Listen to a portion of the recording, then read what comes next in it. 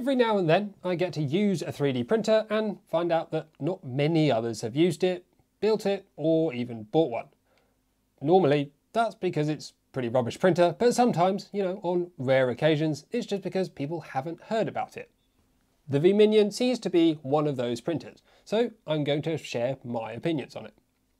It's a mini cantilever style printer with a 180mm cubed build volume sold by Ratrig, who are based in Portugal and has plenty of bells and whistles like flexible build play, thick aluminium bed, 3030 extrusion frame, a Phaetus Dragonfly hot end, mesh bed leveling, input shaping, and pretty thick, massive linear rails.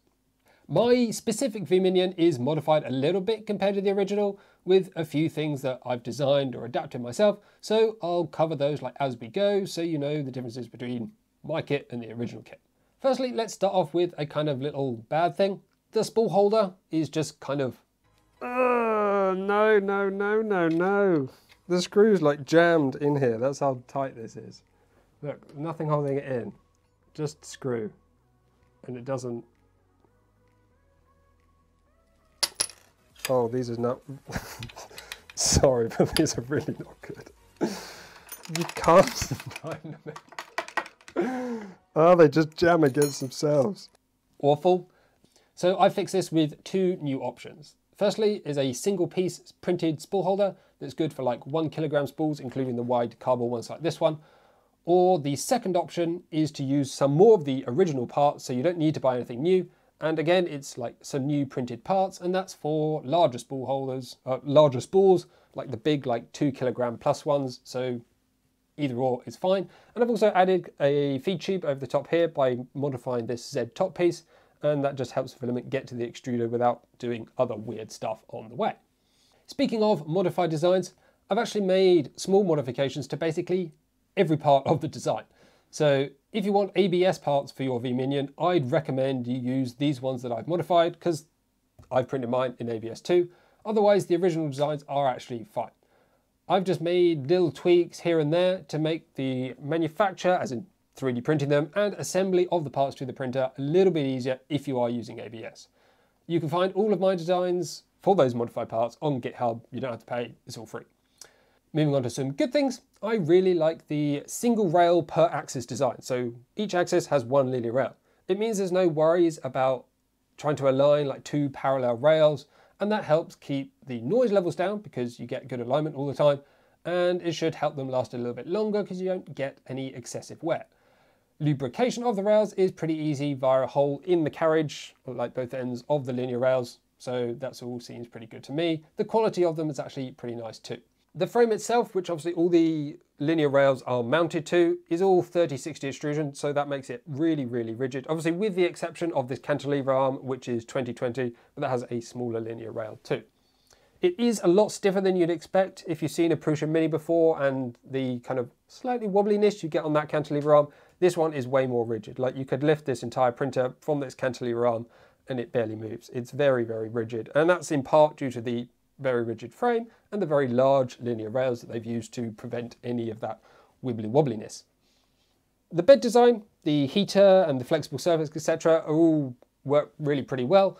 The surface texture is not maybe so good with PLA, but does work really well with things like ABS and PETG and like modified versions of those.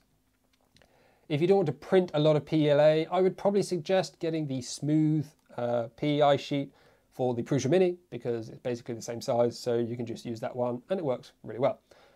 The probe, on the other hand, as in the bed probe on the hot end assembly, is pretty rubbish. It's a low cost inductive probe and it seems to vary quite a lot with temperature, so obviously near a heated bed, that's less ideal. I would personally recommend going to a SuperPINDA or BL Touch. I've gone for the SuperPINDA probe and that is working really, really well.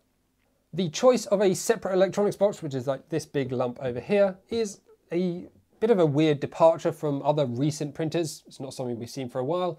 It's more like something I'd expect to see on a CR10, like original from six years ago.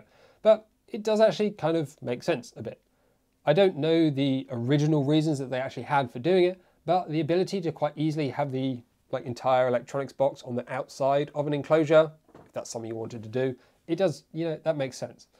Unfortunately though, while I'd say they have improved slightly, RatRig do still have quite a way to go in terms of electronics assembly, like in the manual and that kind of stuff.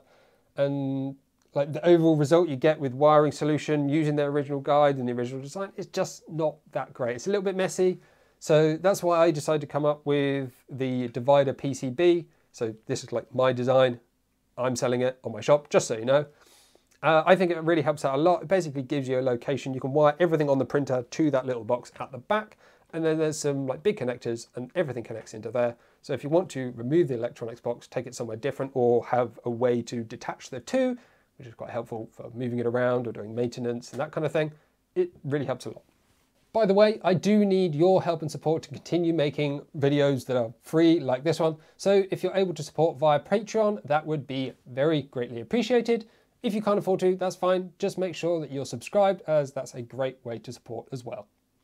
Back to the V-Minion, this printer ships with a Weho power supply, which basically is a clone brand of Meanwell, as far as I can tell. The fan on this particular unit that is provided by RatRig is always on at maximum voltage. So it's like, it's not only loud, but will wear out quite fast because it's always on. And that will make it then louder because it's worn out.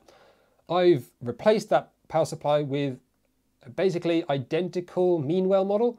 And on that one, the fan only comes on under high load and, and or high temperature. The EVA modular carriage system, which is this assembly of hot end and extruder all parts around here, continues to be a really good flexible system that provides assembly ready designs. So you just print them off and you can use, like it supports a whole load of different extruders and hot ends and you don't have to like modify and tweak things. It's all just ready to go. Whilst the original one that actually comes with the printer is EVA 2.4, if you want to upgrade to EVA 3.0, which is obviously the most recent one, it brings with it a slightly more rigid mounting between the extruder and hot end, a better cooling duct, and the option of threaded inserts. If you want to do your whole assembly with threaded inserts, that's now an option. EVA 2.4 is what I had in my kit by default, but I've obviously, as you can see, upgraded to EVA 3.0.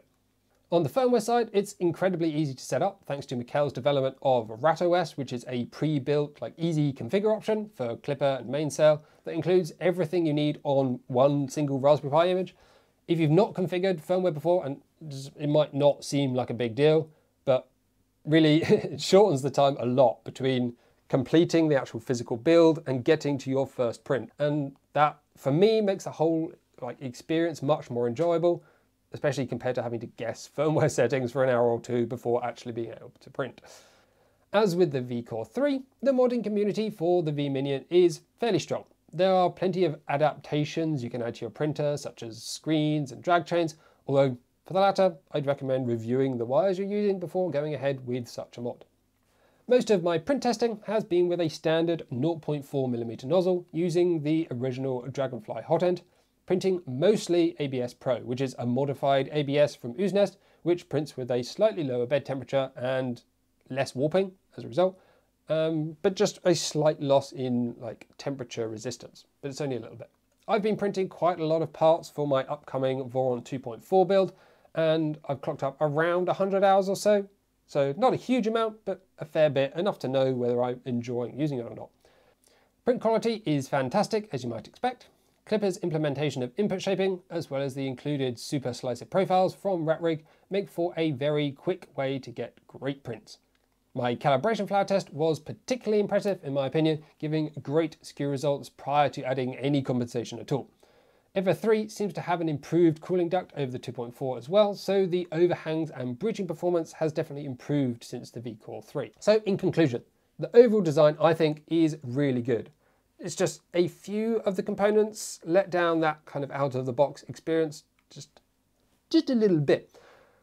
Once you change a couple of things, power supply for example, and the whole machine just becomes a really fantastic, reliable, good printing workhorse. So if you want to buy one and support the channel in the process, there are voucher discount codes in the description and you can get hold of a divider PCB, which is my PCB modification, via my website, which is also linked down below. In the interest of full disclosure, of course, RatRig sponsored my live streamed assembly series, but I've not been paid at all to make a review, and they've not influenced or previewed this video before release. So there you go. Thanks very much for watching, and I'll see you in the next one.